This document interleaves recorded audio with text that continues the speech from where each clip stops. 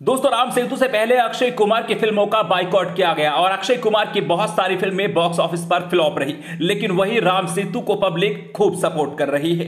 Film ने box office पर तीन दिनों में ही वो तूफ़ान ला दिया है कि फ़िल्म बॉक्स ऑफ़िस पर सुपर हिट हो चुकी है। जहाँ दोस्तों, जैसा कि आप सभी जानते होंगे, पच्चीस अक्टूबर को दिवाली के खास मौके पर सिनेमाघरों में रिलीज़ हुई थी अक्षय कुमार की फ़िल्म राम सेतु और सामने थी बॉलीवुड के सिंघम अजय देवगन की फ़िल्म थैंक गॉड लेकिन बावजूद इसके, राम सेतु की फ़िल्म की कमाई में कोई भी गिरावट देखने को हमें नहीं मिली है।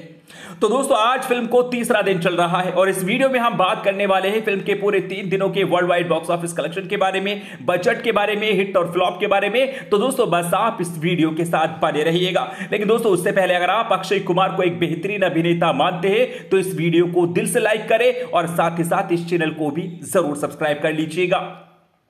दोस्तों, अगर बात करें राम सेतु की तो अभिषेक शर्मा के डायरेक्शन में यह फ़िल्म बनी थी और फ़िल्म के रिलीज़ से पहले ही फ़िल्म को लेकर बहुत ज़्यादा बस बना हुआ था। फ़िल्म में हमें अक्षय कुमार के साथ जैकलिन फर्नांडिस और नुसरत भरूचा भी अहम किरदार में नज़र आए। बात करें फ़िल्म के बजट की तो लगभग फ़िल्म का जो बजट है वो सौ करोड़ रुपए का है। और फ़िल्म को बॉक्स ऑफ़िस पर हिट और सुपर हिट होने के लिए कम से कम 200 करोड़ रुपए कमाने हैं। लेकिन जिस हिसाब से फ़िल्म कमाई कर रही है, जैसे फ़िल्म ने शुरुआत की है यह आंकड़ा बहुत कम है। फ़िल्म का बॉक्स ऑफ़िस कलेक्शन 300 करोड़ रुपए के भी पार जाने वाला है। दोस्तों, बात करें फ़िल्म के बॉक्स ऑफ़िस कलेक्शन की तो उससे पहले मैं आपको बता दूँ कि फ़िल्म को इंडिया के अंदर लगभग 3500 स्क्रीनों पर रिलीज़ किया गया था। फ़िल्म ने अपने पहले दिन, यानी कि ओपनिंग डे पर इंडिया में जो नेट बॉक्स ऑफ़िस कलेक्शन किया था, वो किया था पंद्रह करोड़ तीस लाख रुपए का। और वही फ़िल्म का वर्ल्ड वाइड कलेक्शन था अपने पहले दिन का तेईस करोड़ रुपए। फिर दूसरे दिन फ़िल्म ने 11 करोड़ रुपए इंडिया से नेट कमाए तो वही फ़िल्म का वर्ल्ड वाइड कलेक्शन रहा दूसरे दिन का 15 करोड़ रुपए।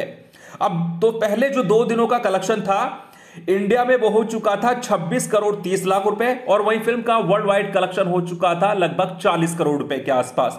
अब बात करूँ मैं तीसरे दिन, यानी कि आज की तो दोस्तों आज की ऑक्यूपेंसी भी कमाल की है, लेकिन फ़िल्म के कलेक्शन में थोड़ी बहुत गिरावट हमें देखने को मिली है, लेकिन खास बात यह है कि सैटरडे और संडे की एडवांस बुकिंग अभी से शुरू हो चुकी है।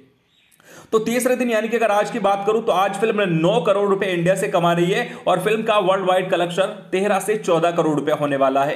तो फ़िल्म का पहले तीन दिनों का जो इंडिया में नेट बॉक्स ऑफ़िस कलेक्शन है, वो पैंतीस करोड़ तीस लाख रुपए हो जाएगा और वही फ़िल्म वर्ल्ड वाइड में पचास करोड़ रुपए का आंकड़ा भी पार कर जाएगी। और पहले तीन दिनों में वर्ल्ड वाइड में फ़िल्म पचास करोड़ रुपए की कमाई कर रही है। तो ये खास बात है क्योंकि इससे पहले अक्षय कुमार की फ़िल्म में पचास साठ करोड़ पर ही ढेर हो गई थी, लेकिन तीन दिनों में राम सेतु पचास से साठ करोड़ रुपए कमा चुकी है। तो मुझे लगता है कि कहीं ना कहीं फ़िल्म की शुरुआत बढ़िया है और अपने वीकेंड तक यानी कि आने वाला जो सैटरडे और संडे है, जो आने वाला वीकेंड है, इसमें फ़िल्म और भी अच्छा कलेक्शन करेगी और फ़िल्म बॉक्स ऑफ़िस पर सुपर हिट होगी।